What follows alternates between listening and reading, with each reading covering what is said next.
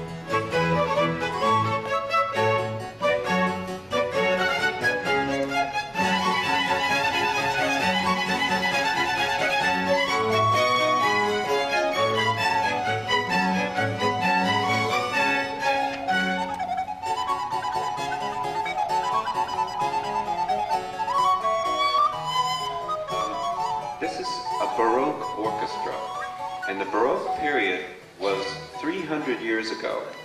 And we're not just playing the music from 300 years ago, but we're playing on instruments that are either from 300 years ago or are just like that. Like this violin of the man sitting right here was made in 1610.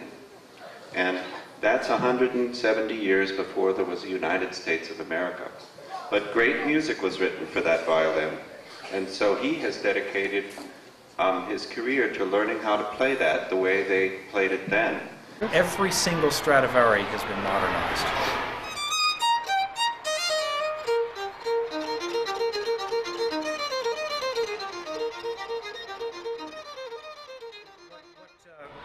To, to make a modern violin out of this would require taking it apart, taking the top off, and uh, you know it's glued all around the sides there. It's, it's a major operation to take the top off of an instrument.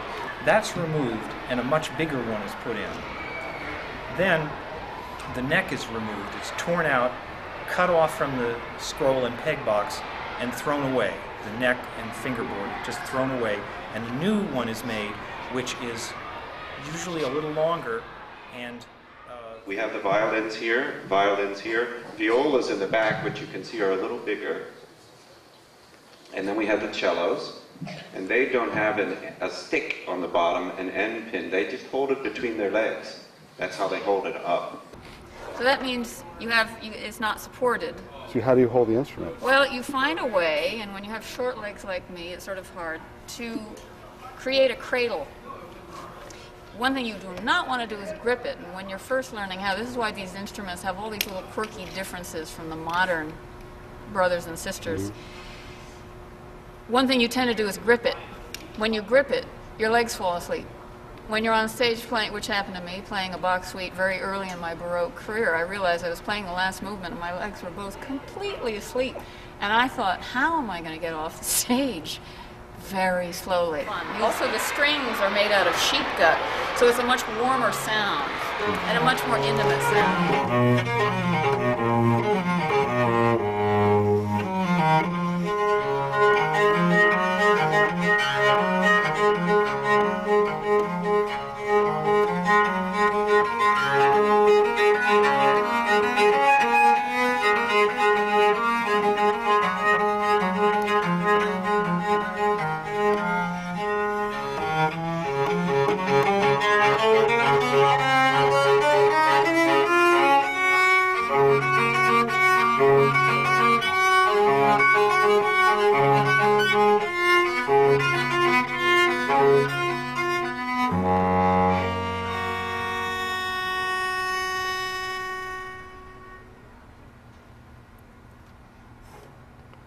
And then the bass in the back. A lot of you like the bass, I know.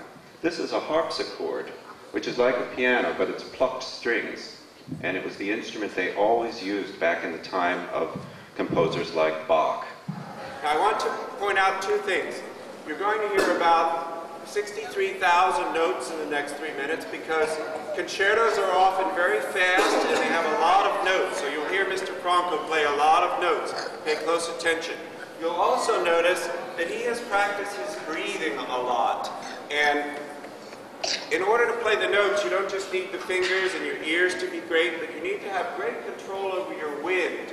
So you will notice that he takes a deep breath and then he lets the air out with great precision from his diaphragm. The muscles down here are controlling the release of the air, and sometimes it seems like he goes for a whole minute without taking a breath. And it's not so much that he has big lungs or that he's got super strong lungs, it's that he has practiced and practiced and learned how to breathe properly. And that's something we all need to do as, um, as singers, as, as recorder players, or as horn players, or as swimmers. This is a concerto in A minor by Antonio Vivaldi.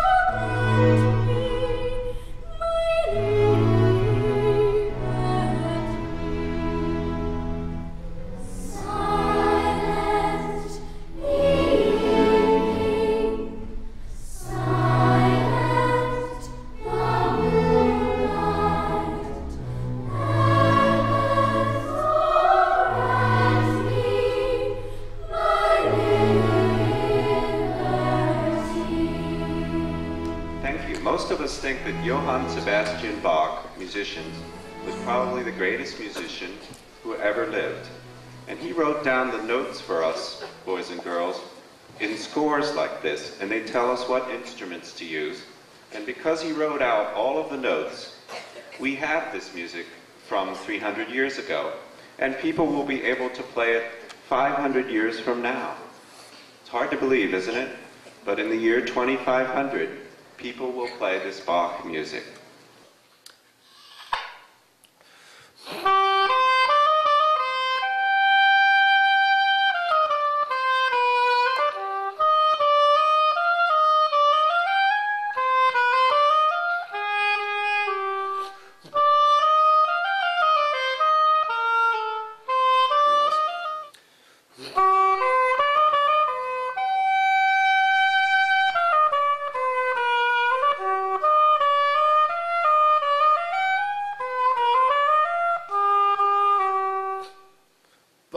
It's, it's not even as good for playing that piece as the modern oboe is. Because the modern oboe can play anything.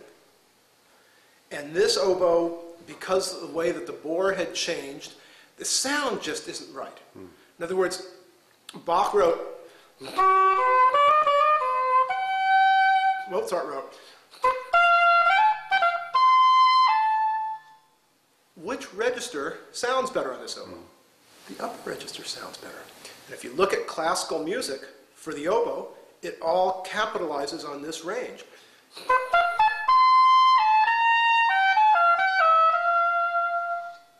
Whereas Bach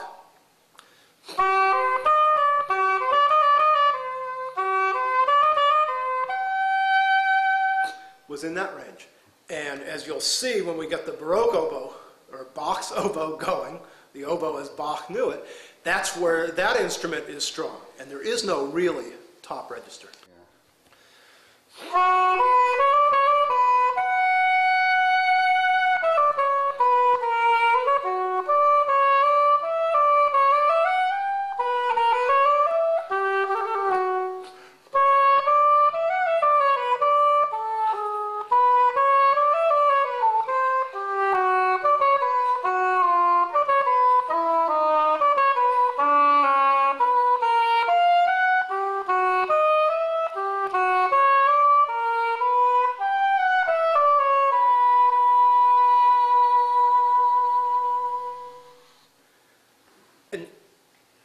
smile on your face tells me that you understand that, that this is the instrument it was written for.